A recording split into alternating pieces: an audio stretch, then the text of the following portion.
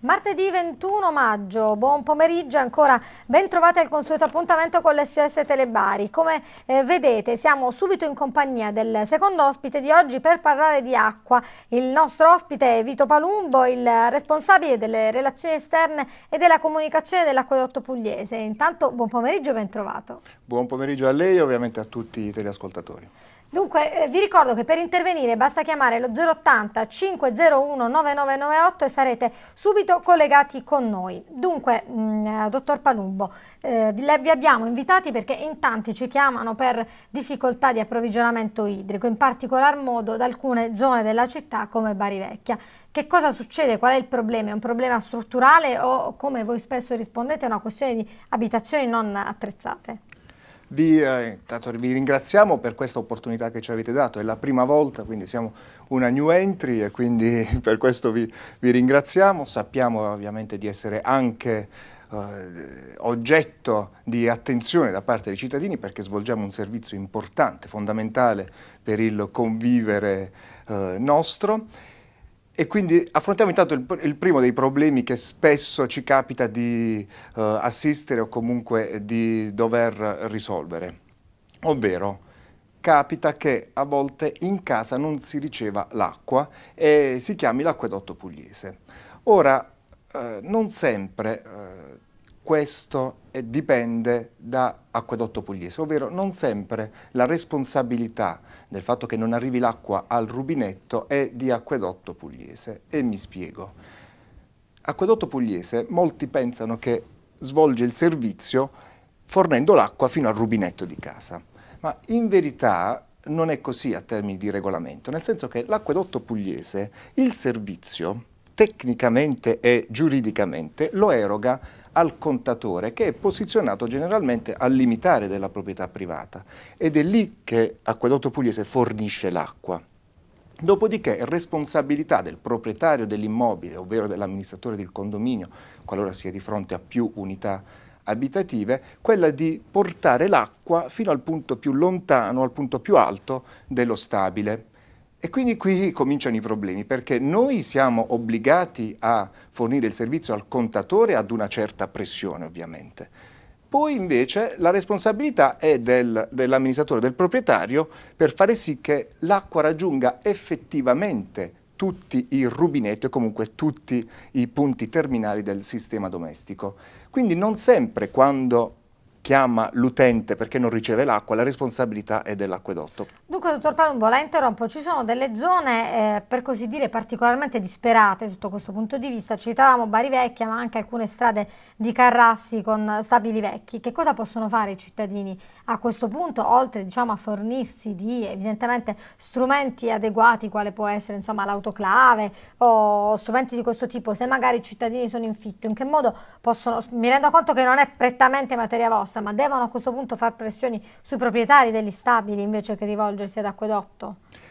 Intanto per quanto riguarda Acquedotto Pugliese noi cerchiamo eh, al meglio di gestire il servizio e quindi anche di migliorare sempre per quanto è possibile la pressione nelle reti, comunque di raggiungere una pressione ottimale nelle reti in maniera tale che tutti possano godere del servizio che noi eh, offriamo. E per fare questo ovviamente eh, effettuiamo tutta una serie di verifiche di campo e di attività che possono in qualche modo rendere le varie zone, in questo caso eh, di Bari, omogenee sotto il profilo della, eh, della pressione.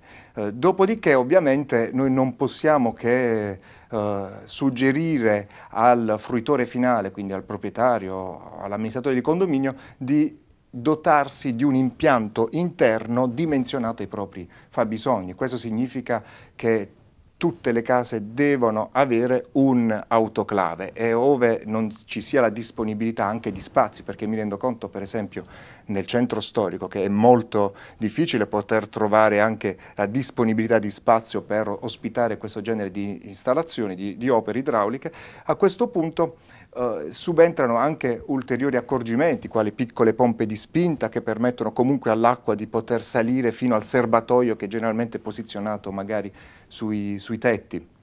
E quindi purtroppo noi possiamo fare poco oltre il contatore perché eh, non siamo assolutamente nella possibilità di intervenire nelle utenze, oh, nelle reti domestiche. Eh, noi quello che facciamo è cercare di gestire al meglio la rete, la rete pubblica e per questo sono in, anche in corso importanti investimenti proprio sulla città di Bari per cercare di migliorare quanto più possibile il, la situazione uh, pressoria nelle, nelle reti. Dunque 080 501 9998 per intervenire in diretta con noi, ve lo ricordo siamo in compagnia di Vito Palumbo, il responsabile della comunicazione e delle relazioni esterne dell'acquedotto pugliese. Eh, sugli investimenti torneremo tra pochissimo, ma visto che parliamo di, immagino, cantieri che si aprono in città, voi eh, quasi quotidianamente ormai perché i lavori sono tanti, date comunicazione dell'interruzione del servizio in determinate fasce orarie. Talvolta però magari l'acqua viene viene a mancare non in coincidenza all'orario comunicato. Perché succede questo? In effetti gestire il servizio idrico integrato è forse quanto di più complesso e complicato si possa immaginare tra i servizi, perché quando va via la luce, per esempio, sappiamo che va via a una certa ora e quando viene ripristinato il servizio, immediatamente il servizio viene ripristinato anche in casa propria. Purtroppo per l'acqua non è così, perché l'acqua è un fluido che risponde a delle leggi complicatissime. Tra questo ovviamente c'è il fatto della non comprimibilità, eccetera, eccetera. Quindi cosa succede? Che quando noi sospendiamo il servizio momentaneamente, non è detto che tutti contemporaneamente non ricevano l'acqua in casa e questo soprattutto per due motivi. Uno, perché le reti comunque per svuotarsi necessitano di tempo e due, perché comunque le case dotate di autoclave, quindi di un sistema di approvvigionamento autonomo, continuano ad utilizzare quell'acqua che è nel serbatoio. Per quello noi Uh, al di là di qualche sorrisino, ci premuniamo di dire, di consigliare ai cittadini quando sospendiamo il servizio, attenzione, consumate meno acqua nelle ore in cui sì. è interrotto il servizio, proprio perché comunque continuano ad utilizzare l'acqua, ma stanno utilizzando una riserva privata che è bene preservare ovviamente. Preziosissima. Eh beh, in quel caso è veramente preziosa. Eh, parlavamo allora di, di cantieri, no? dicevamo che ci sono degli investimenti in corso, di che cosa si tratta? Naturalmente sarà difficile entrare nello specifico quartiere per quartiere, ci mancherebbe altro, però in linea di massima servono a potenziare il servizio, presumo, no? si immagina.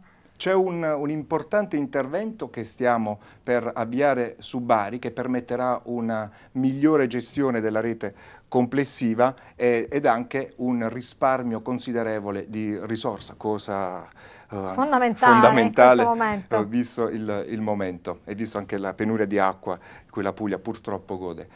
E quello che noi andremo a fare è distrettualizzare l'abitato di Bari, ovvero fare in modo che Bari possa essere suddivisa proprio in, più, in piccoli acquedotti, in più acquedotti, in maniera tale che quando si interviene si possa intervenire soltanto su parte dell'abitato e non nell'intero abitato. E quindi questo con, as, con assoluto risparmio, oltre che eh, di risorsa, di tempi di intervento e anche di di disagi per la popolazione, perché ci sarà possibile quindi intervenire su una singola porzione di abitato e di sospendere il servizio solo in quella porzione di abitato e non come adesso avviene a volte eh, con l'esigenza di sospendere invece per tutto l'abitato il servizio. Prendiamo la prima telefonata, pronto? Pronto? Pronto? Sì, pronto, buon pomeriggio. Buon pomeriggio a voi. Senta, io sto telefonando da Molfetta. Sì abito in, in centro, ma, ma, piuttosto basso rispetto alla stazione ferroviaria che è più alta. Sì. Però l'acqua non arriva se non al primo piano. Tutti gli altri piani siamo serviti dall'autoclave comune. Il problema è questo, che nessuno si fida più di bere un bicchiere d'acqua che arriva al quarto piano o al quinto piano perché passa attraverso il, le pompe, attraverso l'autoclave e non ci fidiamo di bere quell'acqua, per cui siamo costretti a comprarla. È possibile sperare in un prossimo futuro anche che abbiamo l'acqua direttamente uh, ai nostri rubinetti?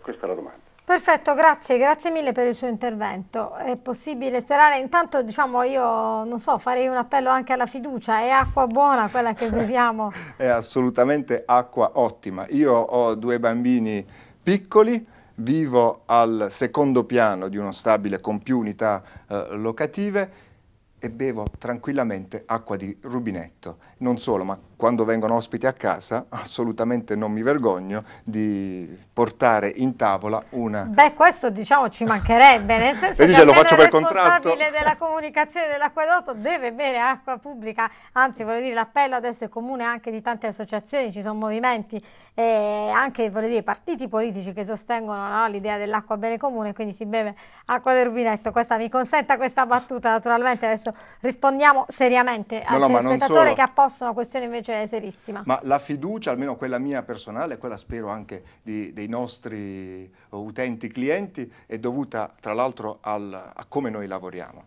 Acquedotto Pugliese controlla quotidianamente, costantemente su tutto il territorio servito l'acqua che distribuisce. Sono oltre 350.000 i controlli annui che vengono effettuati in rete, siamo dotati anche di un sistema di telecontrollo che ci permette anche in remoto, in tempo reale, in circa 6.000 punti della rete di monitorare anche alcuni parametri fondamentali eh, della potabilità dell'acqua. Ma detto questo poi siamo anche fortunati perché eh, ci approvvigioniamo con, con acque assoluta, di assoluta qualità, alcune di, di sorgente, e la nostra acqua, quella mi riferisco di ba Bario, anche a Molfetta, è addirittura un'acqua oligominerale, per cui cosa volere di più dalla Però vita? temo che invece il telespettatore non si fidi proprio dell'autoclave, questo mi è parso di capire se, se, non ero, quindi chiedeva si potrà in futuro fare a meno dell'autoclave? Allora, mi riallaccio a quello che ho detto poc'anzi, che Acquedotto Pugliese gestisce il servizio fino al contatore, noi quindi gestiamo la rete pubblica,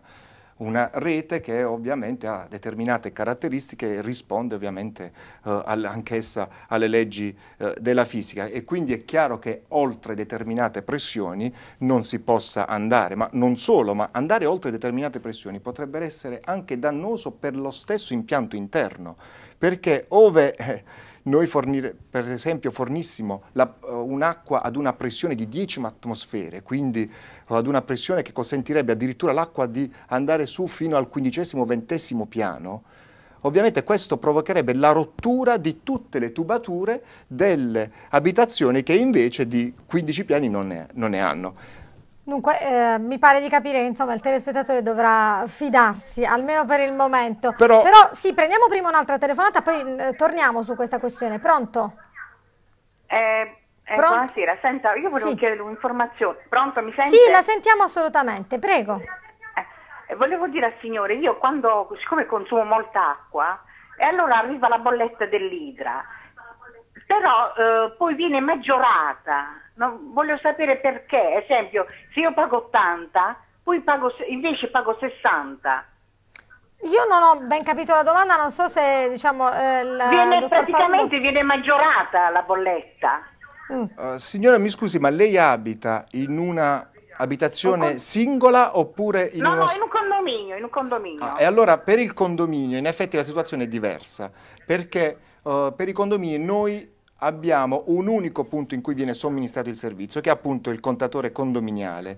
Poi la ri ripartizione delle spese tra i condomini viene effettuata dall'amministratore di condominio. Quindi questa domanda io eh, le suggerirei di porla al suo amministratore di condominio, perché sono loro che poi... Ma non ho capito perché deve essere maggiorata. Scusi, io esempio sì. consumo 20... Eh come si può dire, di acqua, diciamo, 20, non so. 20 litri eh, al giorno, per esempio. E, e viene a leggere, è sì. complicata la domanda, però io pago di più di quei 20, beh, come si dice, metri cubi, non so come si può dire. Mm, perché, sì. eh, forse signora, perché vengono ripartite magari anche delle spese di manutenzione dell'impiantistica interna, però guardi, eh, ripeto, siccome... No, no noi eh, non, non, è nella nostra responsabilità quella eh, eh di gestire l'impiantistica interna dei condomini. Eh, ripeto, il consiglio che le do è di rivolgersi al suo amministratore di condominio. Non per... all'ITRA? Non a quello che viene a leggere il contatore? Ecco, quello che viene a leggere il contatore non è un operatore di acquedotto pugliese, ma è un operatore incaricato dal suo amministratore di condominio. Per quello le dicevo che comunque... Si a lui. Sì, esatto. Sì, sì. Grazie signora, grazie mille per il suo intervento. Mi sembra diciamo, molto chiaro. Evidentemente qui eh, dovrà mh, consultare il suo amministratore che potrà dirle diciamo, con precisione perché ecco, il responsabile ci ha spiegato bene che questo non dipende dall'acquedotto. Ma mi pare volesse terminare la risposta alla, al precedente quesito posto dal telespettatore, quello dell'autoclave. Mi sembra di averla interrotta se no, non vado errata.